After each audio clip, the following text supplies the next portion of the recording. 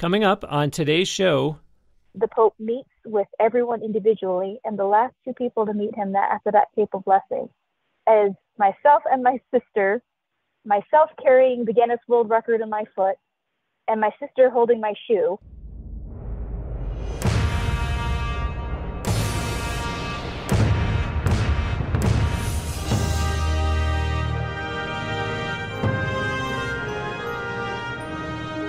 Peace be with you. This is Catholic Sports Radio, located at the intersection of your faith life and sports life, and on Apple Podcasts, Spotify, iHeartRadio, YouTube, and lots and lots of other platforms. I am Bruce Wozniak, talking with Catholic guests who are current or former athletes, coaches, referees, umpires, clergy, administrators, and more from the pro, amateur, and scholastic ranks about the intersection of their faith life and their sports life. The show website is CatholicSportsRadio.net or .com. They will both get you to the same place. Try it. Be sure that you have signed up there for free for the Catholic Sports Radio e newsletter that gets sent out each Monday. That's all, just once a week, really. While you are on the website signing up for the newsletter, look at the top of any page on the site and you will see social media links, logos for this show, meaning Facebook, X, Instagram, and YouTube, so that you can engage with me and the show that way. The Catholic Sports Radio community is the Facebook group consisting of listeners of this show and some past guests. That is free to join and you can also find a link for that too on CatholicSportsRadio.net. The day that I'm recording this interview, I just posted something in there. I do truly enjoy hearing from listeners, social media, as well as the website. I'll give you the opportunity to contact me, as does traditional email, which you can do through bruce at CatholicSportsRadio.net.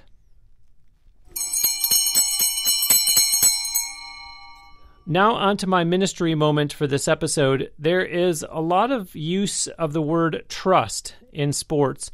A quarterback trusts that his receivers will get open and that his offensive line will protect him and give him time to find an open teammate.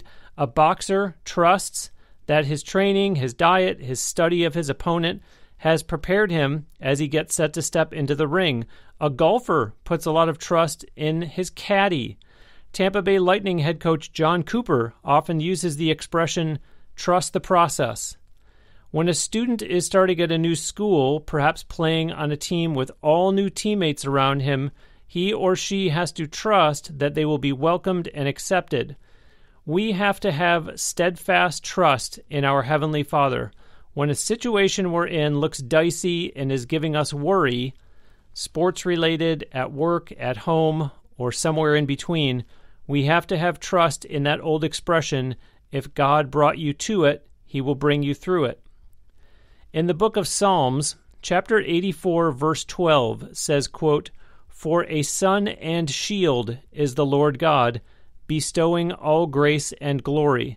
The Lord withholds no good thing from those who walk without reproach." Or to read it from the New International Version, O Lord Almighty, Blessed is the man who trusts in you.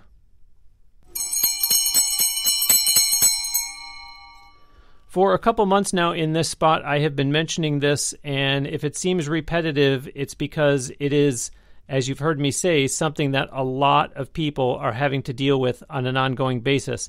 As a result, it's important that you know you have options. Christian Healthcare Ministries is healthcare done differently. They are a biblical alternative to traditional health insurance. It's healthcare that aligns with your faith, is affordable, and flexible. You can join anytime. Visit chministries.org slash Catholic Dash radio to learn more. Moving on now with this week's episode, my guest is an author and motivational speaker who has been featured on TV shows like Ellen and Fox and Friends and on networks such as CNN, BBC News, and National Geographic. Despite being born without arms, she is a fourth degree black belt in Taekwondo. She has participated in numerous other sports, either competitively or recreationally, including cycling, scuba diving, surfing, golf, horseback riding, and Philippines martial arts, arnis slash eskrima. In 2011, she received the Guinness World Record for being the first person certified to fly an airplane with only their feet. She not only met Pope Benedict XVI, but gave him her Guinness World Record medal.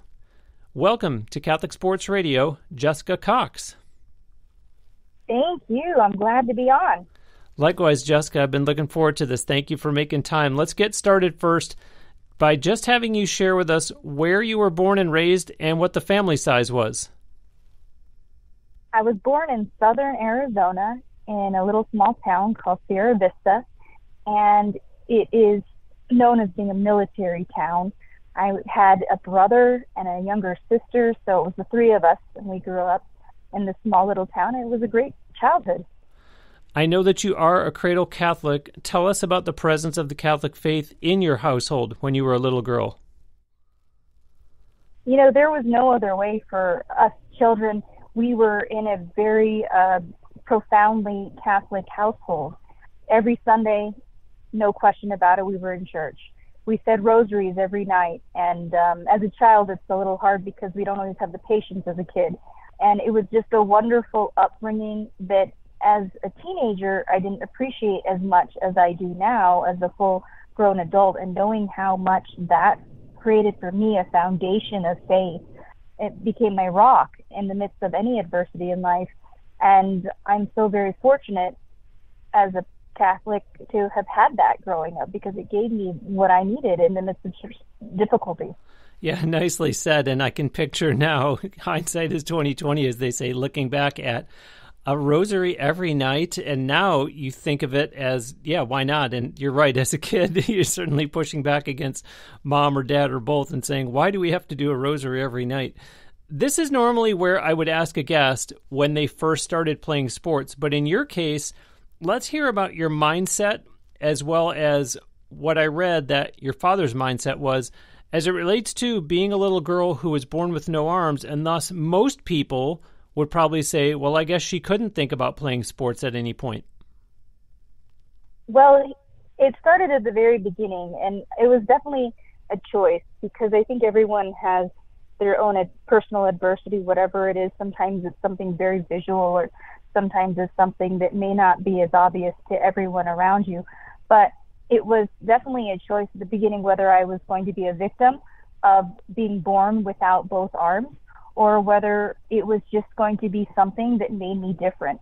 And I think my parents really helped create that understanding that I am not a victim of anything. My dad would often say that he never once shed a tear about my birth condition. He never saw me as someone who was a victim or uh, someone with a disability or or handicap.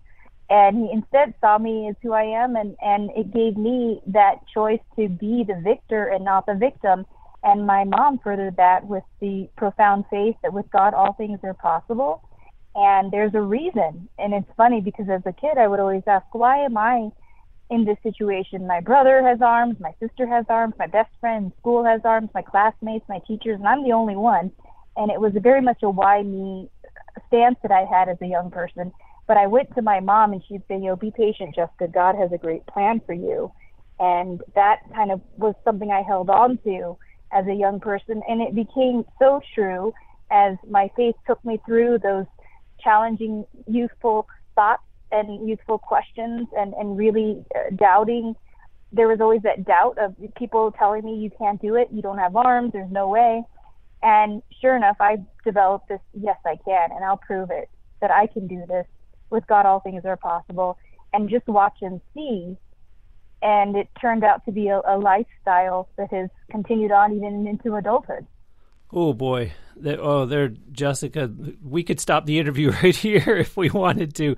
That was amazing. That was amazing. An audience, I wish this was a video podcast so that we could just suspend the conversation for the time being and you could see that okay the video is still going the two of them are just sitting there because it's almost something that i really would love for you to reflect on maybe pause the recording and just think about that if you think about lectio divina and diving into a reading and picking some part of it out that really speaks to you there's so much that jessica just packed into there that's so powerful and so so so wonderful testimony for us to learn from and to rally around and maybe kind of re inspire ourselves.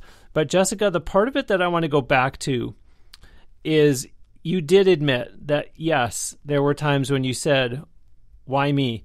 What I'm wondering is you mentioned that you went to your mom, but did you ever doubt God and say, Why would you let this happen to me or anyone for that matter? And then, rather than your mom, maybe go seek answers, say, from your pastor or a parish priest by chance?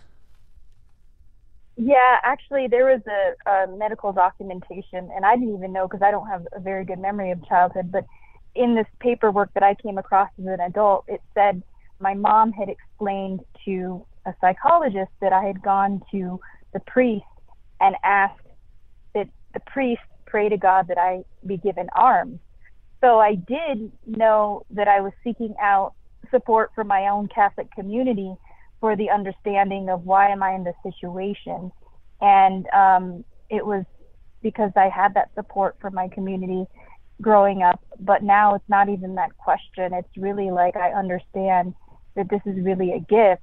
And that understanding came to me, of course, it was a journey to get there, but it was a wonderful story for me to understand that this is something that can be used for the greater glory of God and has continued to do that every single day of my life. And that acceptance and that really cherishing it and understanding that it may not be the way we all think of things, but it's amazing how God will see through the challenges that we're facing and turn them into our greatest strength. Yeah, an audience, I've said this in the past, but the guest does not know what the ministry moment is going to be.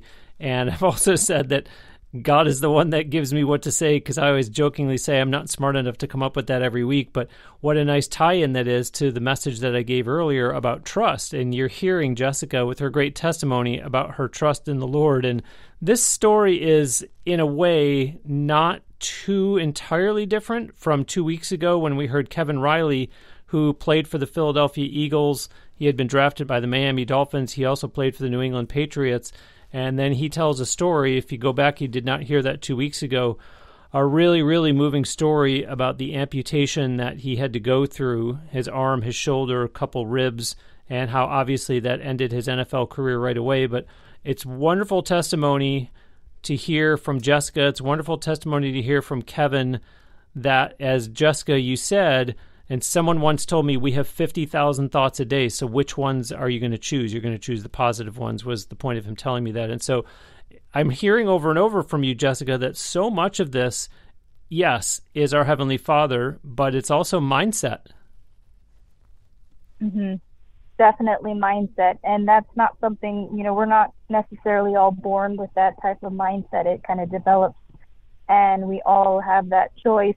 And for me, it was I talk about the adaptability mindset in the sense that with the growth mindset, which many people are familiar with, that is is always growing and knowing that there's more and that you can stretch yourself, challenge yourself, and we're constantly on that trajectory to being better people and um, growing in our faith as well. So for me, it's definitely the mindset of adaptability because I was born this way. I will admit it's different from the other guests you mentioned, and and how he lost an arm. He lost something that he had his whole life. But for me, I didn't know any other way, but I had to go through the grief of not having arms in the very beginning during mm. early childhood. And same thing for my parents because they expected that I was going to be born like my brother. And my mom didn't take a single aspirin during pregnancy. There's to this day no medical reasoning as to what caused mm. uh, the fluke where I was born without both arms. And I think that God allowed it to happen, knowing that it could be for you know bringing glory to Him and to reach others in a way that perhaps if I had arms and hands, I wouldn't have that same reach. Let's interject some sports here a little bit. I mentioned in the intro that you are a fourth degree black belt in Taekwondo. Audience, there is a whole list of Taekwondo accomplishments of Jessica's that was emailed to me in the lead up to today Something that jumped out at me, Jessica, on that list, and maybe this is because of the 2024 Paralympics in Paris, is that you were labeled unclassifiable to compete in the Paralympics. Explain what they told you, but also And clearly, this is a recurring theme throughout this interview some great lessons and motivation that you'll continue to share. But also tell us how that made you feel and then how you responded. Well, you know, I started Taekwondo when I was 10, and it was something my mom enrolled my brother, my sister, myself. He brought us all to this Taekwondo school. He was being very protective and saying my kids should learn self defense because you never know when they need it. And I think she probably knew that I may especially need that because I look pretty e- as an easy target, you know, walking around without arms. Mm. And it became a life passion, but it also became a way for me to channel some of the anger and frustration mm. because as a young person and as i mentioned i was always why me why would god allow this to happen and as a result some people resort in depression or sadness and for me it was a lot of anger and frustration and so I would take it out a lot of times by kicking and screaming and throwing tantrums. And my mom thought, well, maybe I'll enroll her in Taekwondo so she could put that kicking to good use. And it was a good thing she did because it stayed with me all the way up until now. As you described in my uh, bio, I'm a fourth degree black belt. At one point in time, I was a state champion. And then I went to try and classify for the Paralympics, but found out that it was unclassifiable because my I had too much of a disability for what mm. they have right now because they just introduced Taekwondo to the Paralympics. It's fairly new. And so I wasn't fitting a category for competition. And so that then ruled out that possibility. But I did practice and went for a state champion title in 2014. And my goal was not to be classified as special abilities, which is a designation for certain athletes, certain practitioners in, in our style of taekwondo who want to compete. But I wanted to compete in my ring with women my same rank and um, my same age group because that's how you uh, get categorized. And I went out there and competed for a series of competitions for the whole year and earned the state champ title in the non-special abilities ring with other athletes that are considered non-disabled. Mm. So it was for me important because I don't see myself as someone who needs to be in a special division. Rather, I see myself like this is my normal. I was born this way. I've adapted to learn to do these things. You know, I want to compete in the same way. And unfortunately, it was a little bit more challenging for some of the judges, but they easily saw that I substituted every single hand movement with an equal leg movement that could do the same task. For example, a front punch for me is a knee strike. It's in the same area, uh, it's doing the same function, and they basically were able to translate all my moves as substitutes to the hand movements when there were hand movements. But Taekwondo in general does have a lot of kicking, so that worked in my favor. Fantastic. Fantastic. Wow. Wow. I was amazed that before this new NFL season started, they already were citing something like five coaches that were on the hot seat, meaning no 2024 regular season games had been played yet, but already they wanted to point out jobs that could be in jeopardy for certain head coaches. We all need a coach in our corner. Where do you go if you or a loved one have an attachment to pornography? Let Freedom Coaching help. Don't just quit, be transformed. Break the power of porn. Visit freedom coaching.net and be set free forever. They were founded and are run by a Catholic, Steve Pokorny. If you receive the free weekly e newsletter, then at the start of this month, you saw me writing about being available as a speaker for your event, your church, your sports night, your organization, whatever you have going on that I can bring my testimony and my ministry to. But in there, I was saying that I want to help in that way because I don't like the appearance of having my hand out. So, at least by being a speaker, I can do something for you and for your event and your audience. The fact of the matter is, though, that each week on the show, I do ask for your prayerful consideration of support of this ministry because there are bills that have to get paid. More than five and a half years into doing this show every week, it is still a ministry. I'm staying obedient to God's call for me to do this show, but it doesn't mean that vendors, suppliers, service providers, and so on say, Oh, what a noble cause. That's really nice of you to do that on your own time. You don't have to pay. Therefore, since I don't get any income for doing this show, I have to try to find a way out of my own pocket to cover all the expenses that come with operating Catholic Sports Radio both on and off the air. I'm optimistic that there is an impact from this show on your faith life. If, in fact, you do see value in all that I do through Catholic Sports Radio on and off the air, and you enjoy the show, you appreciate the work that I do, and you want to support my ongoing efforts, I would be most grateful for you to include this ministry as part of your tithing. On the homepage of CatholicSportsRadio.net or .com, they'll both get you to the same place, there is a blue Donate to CSR button. As guests and listeners who have used that would attest, that blue button is a fast, easy, and secure way to make a financial gift that will allow you to use a credit card, debit card, or even PayPal. Alternatively, though, if you prefer, since I know some people do not like putting payment information on the internet, you can get in touch with me through social media, the website, or email for details on sending a check through the mail. Bruce at CatholicSportsRadio.net is how you can write to me. Regardless of which method you use, though, the blue Donate to CSR button on the website or sending me a check, with your permission, I will happily say your name on the air on an upcoming episode of the show as a public thanks, just like you have heard me do on other episodes when guests or listeners have made a contribution. Or, as some people have instructed me to do, you can ask to remain anonymous. I'm grateful for your considering Catholic Sports Radio as part of your tithing as I continue working to move more people closer to Christ through the mix of faith and sports. Jessica, I mentioned back in the intro that you earned a Guinness World Record, yet gave the medal to Pope Benedict XVI. Under what circumstances were you able to meet him, and what moved you to give him that medal instead of keeping it for yourself?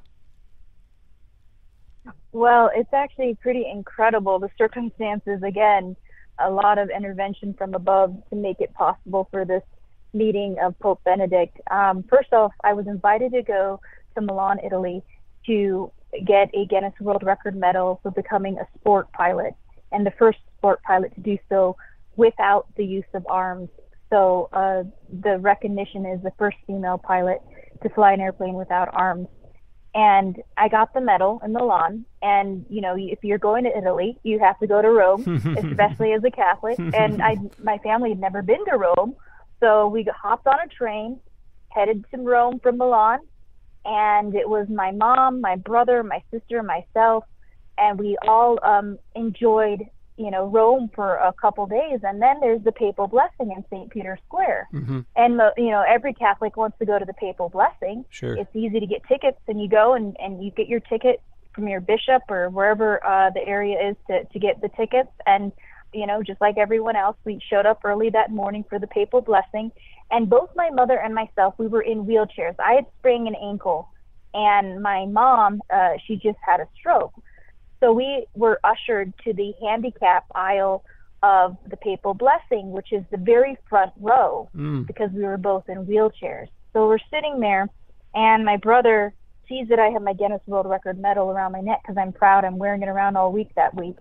and he points to it and says, How would you like to give that to the Pope? And I said, Well, that would be wonderful, but how exactly am I going to give that to the Pope? considering we're behind all of these barricades and you know the papal blessing is right there and there's thousands of people in the audience. Yeah. And he says well just give me a minute and he goes and talks to the security guard. And that security guard talks to another security guard. And within about 25 minutes we are being ushered myself and one other. So i chose my brother because he started all this but then my brother turns to my sister and said here you go ahead and go and so my sister and I are being ushered to the stage where the papal blessing is happening. Mm. And there's a circle of VIPs who are seated right there, um, very close to Pope Benedict. Afterwards, the Pope meets with everyone individually, and the last two people to meet him that after that papal blessing is myself and my sister. Wow. Myself carrying the Guinness World Record in my foot, and my sister holding my shoe. And as we walked up to present this to him, of course, um, I'm kind of like hopping on one leg holding this, and this is all why I have the sore ankle. of course. Mm. So, and my sister is close behind me, and we are meeting the Pope, and it's just unbelievable meeting him and how humbling it was. As I actually go up and do what the Catholic thing is to do, is to kiss the ring of the Pope. Yeah. And the Pope stops me from doing that, and he embraces my face with both hands. Mm. And it's just like this moment of just really being present with him. It was absolutely incredible.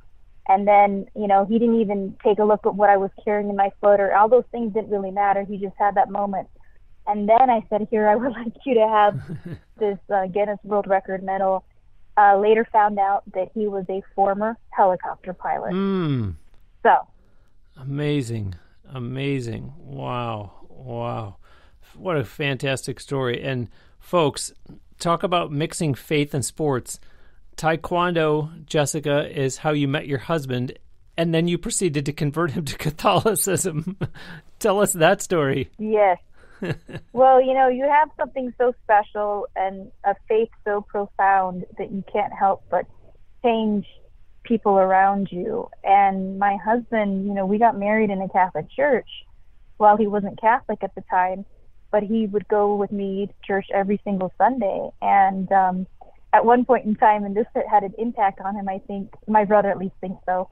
There was during the pandemic, you couldn't receive Eucharist on the tongue right. because of the procedures for doing Eucharist during the pandemic. Mm-hmm. So um, my priest gave Patrick permission to receive the Eucharist for me to be able to give it to me uh. because I couldn't receive it because I don't have hands.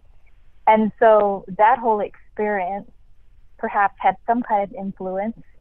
And then he came up to me, you know, maybe months after the pandemic and said he wanted to take Catholic classes. And it was incredible. And mm. here he is. We're both practicing Catholics together. And it's a beautiful thing to go to Sunday services all around the world as I speak and be able to do that together. Wow. Just terrific. Just terrific. And with a true servant's heart, Jessica, in 2017, you founded Right Footed Foundation International. Tell us what that is.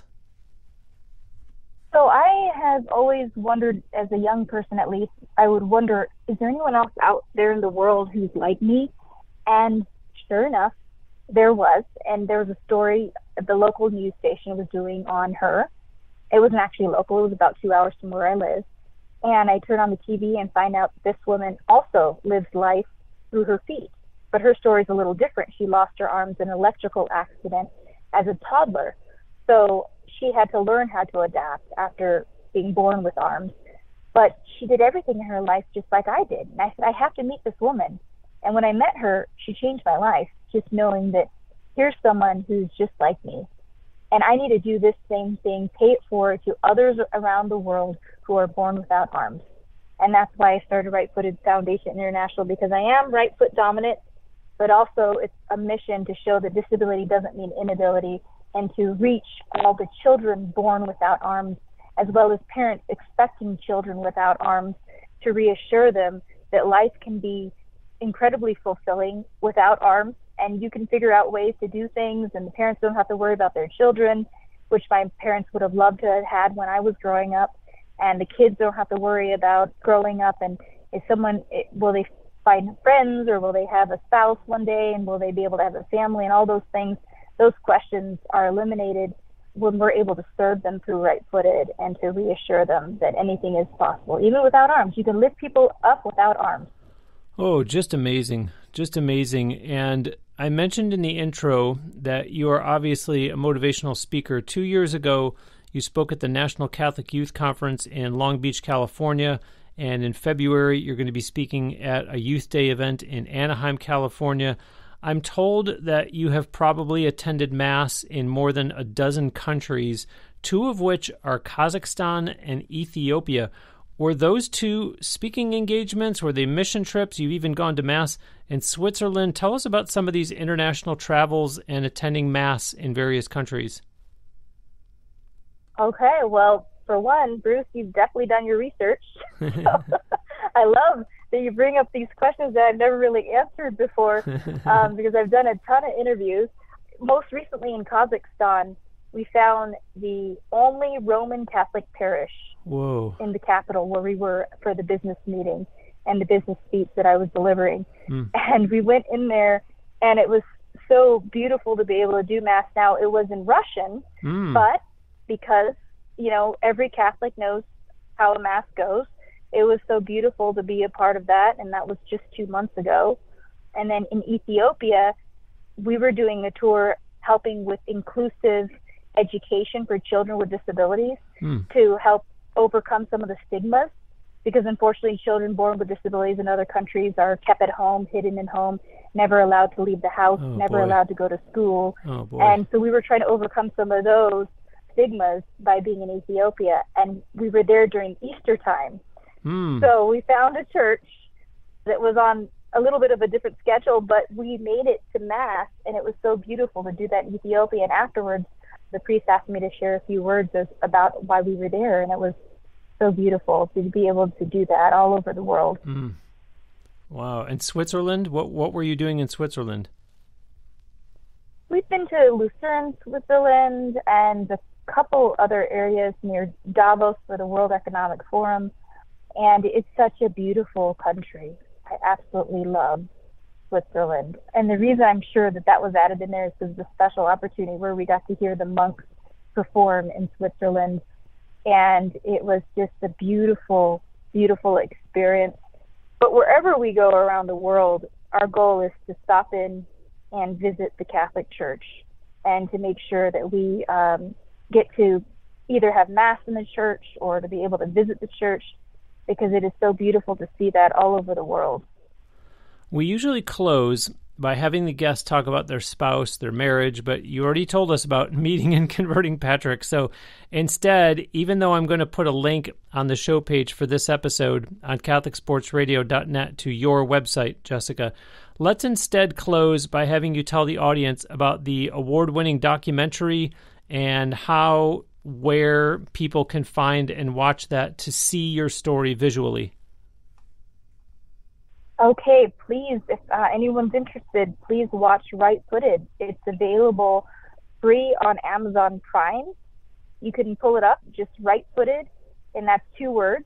And it has won many awards around the world. It actually received the title Best Documentary at the Vatican Film Festival in 2015. I may be wrong on that exact date, but it is a beautiful journey of my faith. It's a journey of how God has allowed this wonderful opportunity to reach people in three different countries. So the film crew followed us, meaning Patrick, myself, all the way to Ethiopia, to the Philippines after the super typhoon, and then the United States, of course, telling my whole story, reaching many of the children born without arms in the United States. And it is a beautiful account of faith and how incredible it is that if it, with God, all things are possible. Now, that Vatican Film Festival that you just mentioned, was that on the same trip where you met Pope Benedict, or are you about to tell me that you've actually been to the Vatican twice? Yeah, it was a separate trip because Wow. that one happened probably four or five years after I received the Guinness World Record. Wow. Wow. So, yes, I was lucky to visit twice. Well, you know, I feel like I, I want to close with an apology. I just feel like all I have said throughout this whole interview is fantastic, amazing, wow. Those words, if we counted them up over and over, but such a powerful story. And Jessica, I'm so glad that we were able to get you on Catholic Sports Radio. Thank you so much for sharing your testimony, and God bless you and your husband. Thank you, and please continue your testimony as well here in this wonderful radio show, and I'll be listening. So, thank you. Thank you. Thank you. And audience, believe it or not, in 296 episodes of this show, we have never done the most common prayer, in my opinion. But as I prepared for this, I was trying to feel moved into what would be a sports prayer to do. And Jessica, as my sister in Christ, if you understand the spirit with which I'm saying this, I just feel as though, audience, that this is a miracle and it's nothing short of a miracle in terms of what God can do in your life in a situation like Jessica's and the amazing, amazing opportunities that she has created for herself. And so when you start thinking about, is there a patron saint of miracles? Yeah, Bruce, he's God the Father. Don't start looking for a saint because, as she said over and over, anything is possible for God. So I feel like we should close this prayer for the first time in 296 episodes with the Our Father. So let's pray that together right now in the name of the Father and of the Son and of the Holy Spirit. Amen. Spirit. Amen. Our Father, who art in heaven, hallowed be thy name. Thy kingdom come, thy will be done, on earth as it is in heaven. Give us this day our daily bread, and forgive us our trespasses, as we forgive those who trespass against us. And lead us not into temptation, but deliver us from evil. Amen. In the name of the Father, and of the Son, and of the Holy Spirit. Amen.